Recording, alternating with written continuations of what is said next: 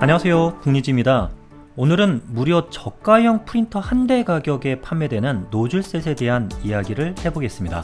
이 제품은 E3D에서 내놓은 옵시디안이라는 이름의 벤브랩 호환 노즐셋입니다. 옵시디안을 찾아보니 흑요석이라고 하더라고요. 그렇다고 이 제품이 흑요석으로 만들어진 것은 아닙니다. 그에 대해서는 잠시 후에 다시 말씀드리겠습니다. 이 제품은 국내 삼축상회에서 수입해 판매되고 있는데 가격이 무려 13만 9천원입니다. 도대체 뭐길래 이렇게 비싼가? 그리고 과연 그 가격을 지불할 만한 가치가 있나?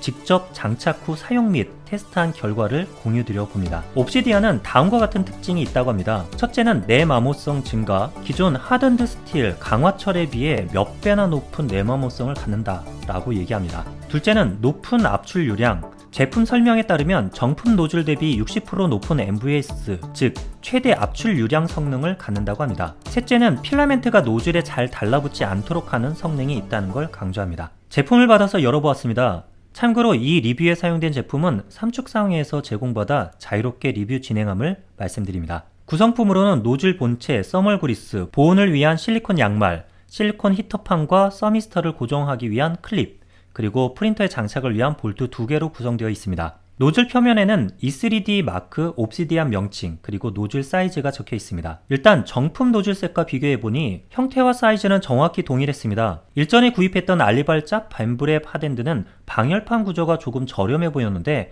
벤브렉과 공식 협력한 제품이어서인지 외관 싱크로율이 아주 높았습니다. 무게도 17.4g으로 같습니다. E3D 홈페이지에는 어떻게 옵시디언이라는 이름이 탄생했는지에 대한 설명이 나왔는데요. 마모성을 높인 E3 DLC 코팅 기법으로 노즐을 만들어내는데 이 검은색 코팅면에 살짝 무지개 빛깔이 나타나는 게 마치 흑요석의 그것과 닮았더랍니다. 색깔도 검정색이고요. 그래서 옵시디언이라고 정하려고 하다가 기존의 내마모성 제품으로 비싸게 판매가 되고 있던 E3D의 노즐 X를 잇는다는 의미를 포함해서 X를 포함한 ObXidian이 되었다고 합니다. 여기서 E3 DLC라는 표현이 나오는데 예전에 비디오 테이프 세대들은 비디오 플레이어에 다이아몬드 코팅 헤드라는 걸 적용했던 기억이 있으실 겁니다. 그때 헤드 드럼에 마모가 잘 안 되도록 탄소 코팅을 했는데 그것을 DLC 코팅, diamond like carbon coating이라고 하더군요. 실제 다이아몬드는 아니고 그냥 다이아몬드 성질과 비슷한 탄소 코팅이라고 합니다. 이번 ObXidian에 적용된 코팅은 이 DLC 코팅을 좀 더 발전시켜서 내마모성은 높이고 필라멘트 가 달라붙는 플라스틱 접합력을 낮춘 것을 개발한 뒤 E3 DLC라고 이름을 붙였다고 합니다.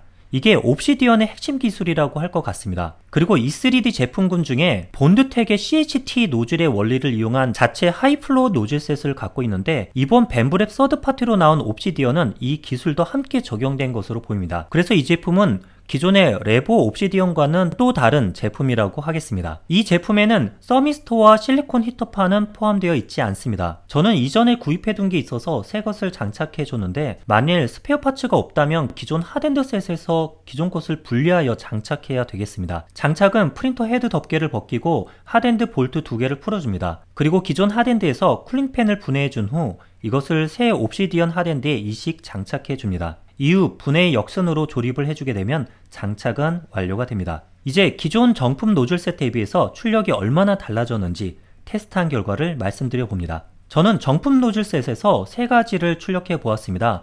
첫째로는 아주 단순한 형태의 원뿔 모형, 둘째는 50% 사이즈의 베이비 그루트, 셋째는 10에서 30 cubic millimeter per sec 구간에서 진행한 MVS 테스트 출력, 노즐 교체 후 동일 지표도를 이용해 출력해 준 결과입니다.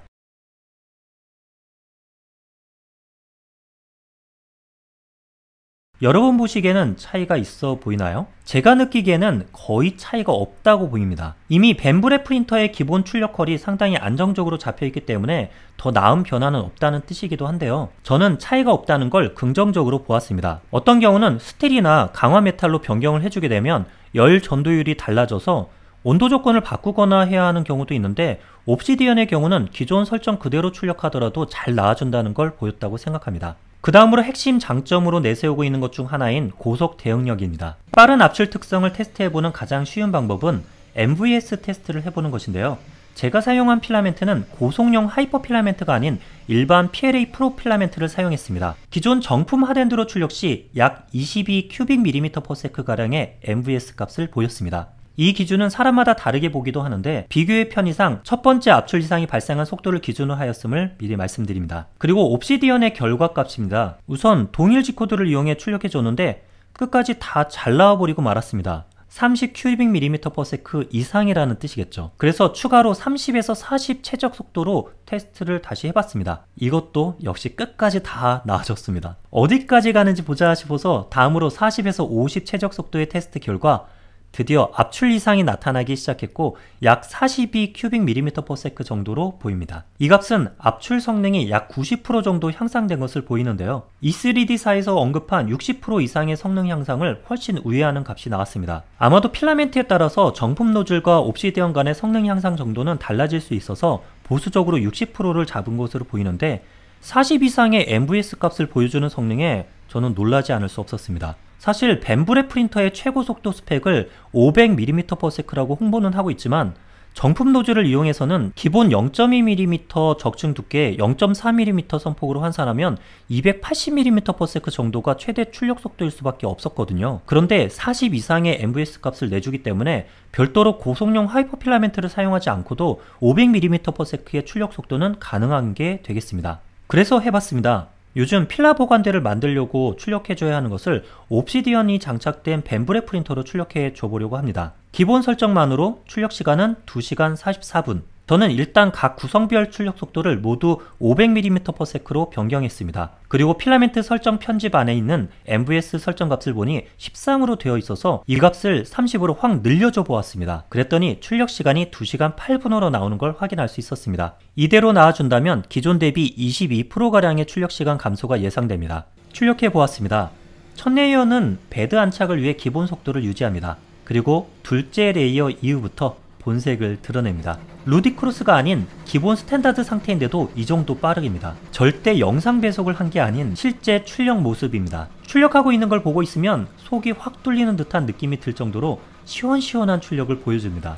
출력 중 보빈을 봤는데 보빈의 회전이 눈에 띄일 정도의 속도로 돌아가더군요. 이렇게 출력한 결과를 보면 그렇게 빠르게 출력했음에도 불구하고 출력 상태는 무척 양호한 모습을 보여주고 있습니다.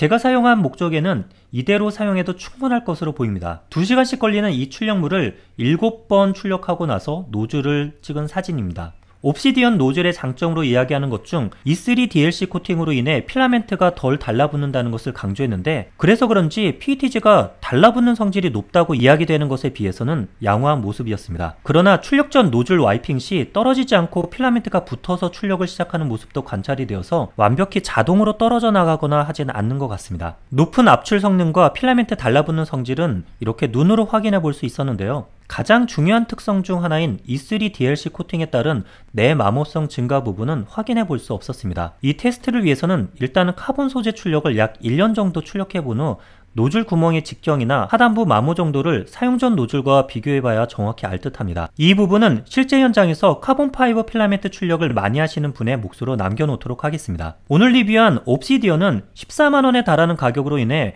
쉽게 손이 가는 부품은 아니라고 생각합니다. 특히 기본 장착된 노즐만으로 출력을 아주 잘하고 계신 분이라면 굳이 바꿀 필요까지는 없다고 보이는데요. 하지만 속도를 좀 더 높이고 싶은데 압출량이 딸리는 문제 때문에 한계를 느끼는 분 특히 PLA 같은 경우는 고속용 hyper 필라멘트로 대응이 될 수 있으나 다른 재료의 고속 출력을 하고자 하는 분에게는 확실히 높은 출력 속도 대응력은 탁월한 모습을 보여주기에 그런 분에게는 도움이 되겠습니다. 또한 이번 테스트에서는 해보질 못했지만 업체 홍보 내용이 맞다면 fiber 성분이 들어간 마모도가 높은 필라멘트를 많이 출력하는 분 그리고 여러 번 노즐을 교체하지 않고도 안정적인 결과를 지속적으로 뽑아내는 측면이 더 필요한 분에게는 비싼 값어치를 하는 노즐셋이 아닐까 생각해 봅니다. 구입 희망하시는 분들을 위해서 영상 하단 설명란에 제품 구매 링크를 남겨놓겠으니 참고하시길 바랍니다. 오늘도 시청 감사드리며 이것으로 리뷰 영상은 마치겠습니다. 이상으로 붕이지였습니다.